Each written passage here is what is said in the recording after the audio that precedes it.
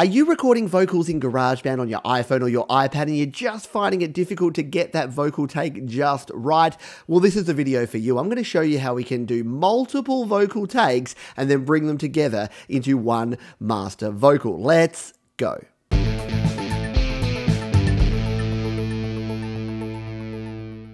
Hi, my name is Pete, and this is Studio Live today, where I help you create, record, and release your best music. And in this video, I'm going to be showing you how I recently recorded three different takes of my lead vocal in my new song called Six and Eight. And what I'm going to do in this video is find the best parts of each of those and bring them together into one master vocal track. This is just one method that you can use to get your vocals sounding good, but it's one that I use quite often, especially if you've got a tricky vocal part that you can't get right end to end, using this comping method is actually a good way to go. So let's dive into GarageBand here on my iPhone now and take a look.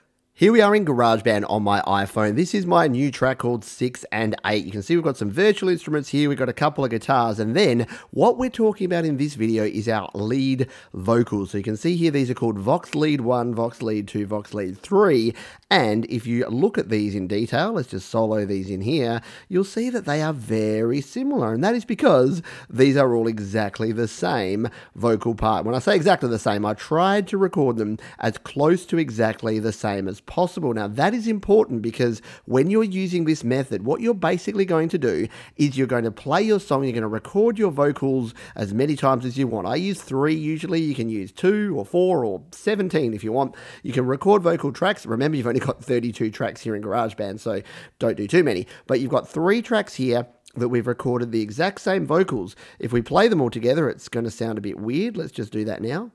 But I would rather sit and play with toys.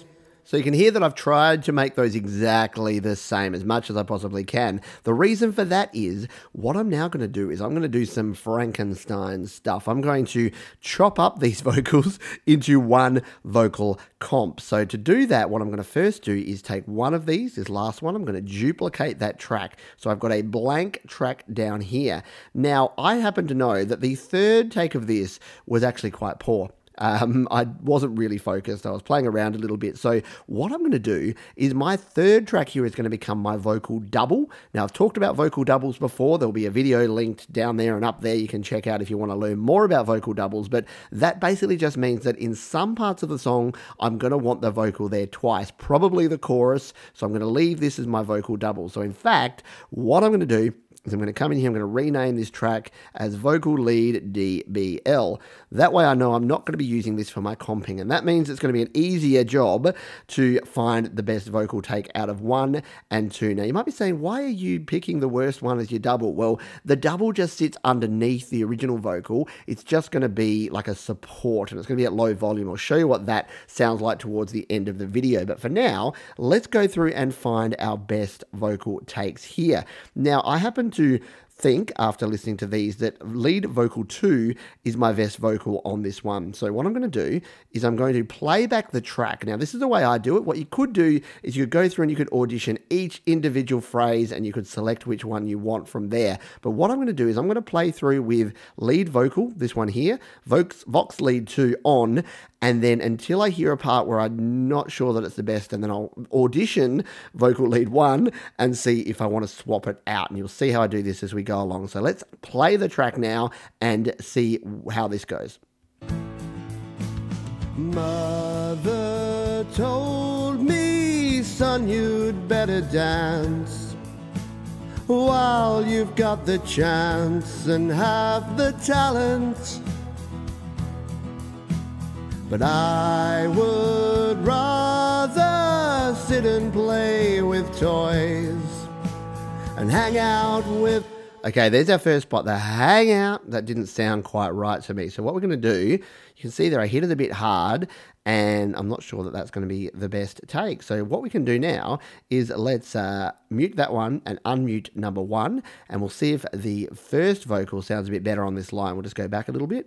Boys hang out with the boys and start some trouble. Yep, definitely better. So we're going to swap that one out. Now, the way that we do this, it gets a little bit fiddly here, but I'll, I'll show you the technique and then I'll go through and do the rest. You don't need to see me auditioning every single line of this song. It would take about 20 minutes and you can do that in your own time on your own tracks. You don't need to see me do it, but just so that you know the method. So what I'm going to do is I'm going to find the point at which I need to swap it out, which I think is just here. So she dragged me. No, it's not. I went too far back. It sits here. Hang out. Yes, the hang out with the boys here. So what I need to do is we need to find a clear spot. So I usually use right on the bar marker or the half bar marker if I can, just to keep things a bit clean. So I'm going to line this one up right there on that uh, middle beat, that number three beat, and then we're going to split these out. So we're going to tap on the first one, tap, go split, and split it. Tap on the second one, tap, split, and split it.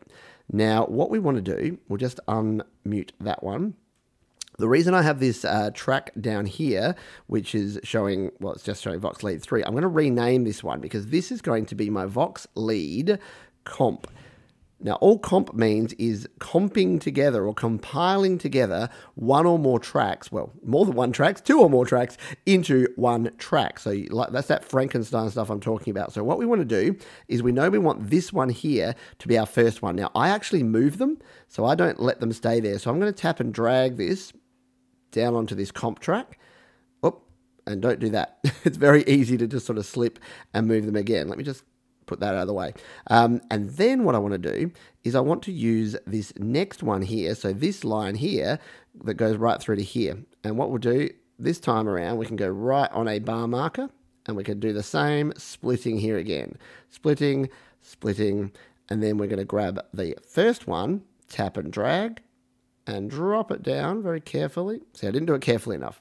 What I meant to say is drop it down carefully, tap and drag, down in and slot it there. It can be quite easy to get these in the wrong spot, so be really careful. Zoom in, so spread your fingers out to zoom out actually, and then make sure that you get the right spot. So if we zoom all the way out here, what you can see is that this comp vocal now has the vocal 2 here for its first section, and then it has the vocal 1 here for its second section. Let's just listen back and make sure that this is going to sound okay in the transition. So we will solo no, we won't. We will mute out these two and we'll just listen to our comp vocal in this little transition here now. Uh, sit and play with toys and hang out with the boys and start some trouble.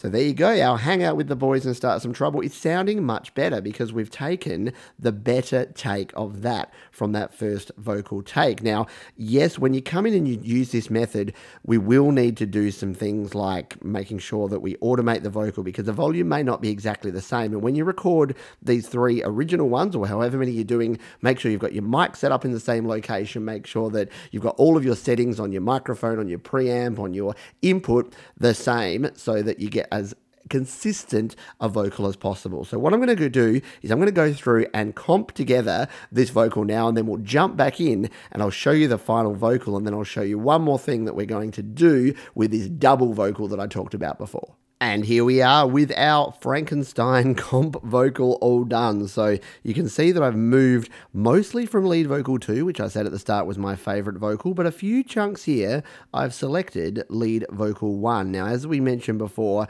when you're splitting a vocal, make sure you're splitting it in a silent section so that it will come together nicely. Don't split in the middle of a word or you're not going to get a very good comp vocal. So there it is now. Now, I did mention our vocal double. So that is what we're going to use this third lead vocal for. So I'm going to find my chorus sections now, and I'm going to just have my lead vocal there for the chorus sections. So I think it is going to be around about here. Time after time we are standing in there it is. So what we're going to do is we'll just split out the earlier section and we're going to delete this. Now this is still here. This is non-destructive editing. So what do I mean by that? Well, it means that we can grab this, grab the handle and well, not like that, grab the handle and pull it out, and it's still actually there. We'll undo that now, but don't worry about deleting stuff. Unless you completely delete it and then save it out, you're always going to be able to kind of re resurrect your audio in here because it's still going to be there. So we just want this. Now, the point of a double is that we don't want it to be as loud as the original vocal. So what I'll do is we'll play this chorus and I'll dial down my vocal double and we'll get it sounding right to where it's just complementing the original lead vocal. That you better start dancing. Time after time we are standing in line and we're making the most of each rhyme. So that's sort of what we want. That's usually the ratio I go with, about a uh, sort of a quarter to a third of the original vocal. So if we just play these together without the rest of the track. Time after time we are standing in line and we're making the most. So that compared to without the double, which sounds like this. Time after time we are standing what I'll do is I'll turn the double on and off and you can just listen to the difference. It just thickens up the vocal a bit and for a chorus it gives it a little bit more punch. Let's play it and I'll add it in and out now and you can take a look and listen to the difference. Time after time we are standing in line and we're making the most of each rhyme. I'm happy to see that you're waltzing with me and we're dancing in six and eight time. So you can hear there, just on that last word, that time, it just gives it that thickening. And what I'll need to do now is come in here and change some of the settings, because on your doubled vocal, you probably don't need as many effects, and you can probably deaden it a little bit so that it's not, you know, doing all the reverb and the, the delay that your original track is. But that is what I wanted to show you here today, is that we can take multiple vocals, we can create our comped vocal, we can add in a double vocal here. So all I'm going to do now is go through and remove all but the choruses of this vocal double, and then we'll be good to go. And we'll be ready to mix this track, which is what we're going to move to next. We're very close to getting this mix done, and then we can master the track and have it ready to release. So there you go. We've taken these tracks, we've made our one master track, and we've got the bonus of making our double track in those choruses at the same time. I hope you found this useful. If you've got any comments, questions, or suggestions, you can leave those down below, and I'll see you on the next video. Hey, thanks for sticking around. We've got two more videos linked right down below. You can also subscribe to the channel by clicking on the Studio Live Today icon in the top right corner, or you can head on over to studiolivetoday.com for even more audio goodness.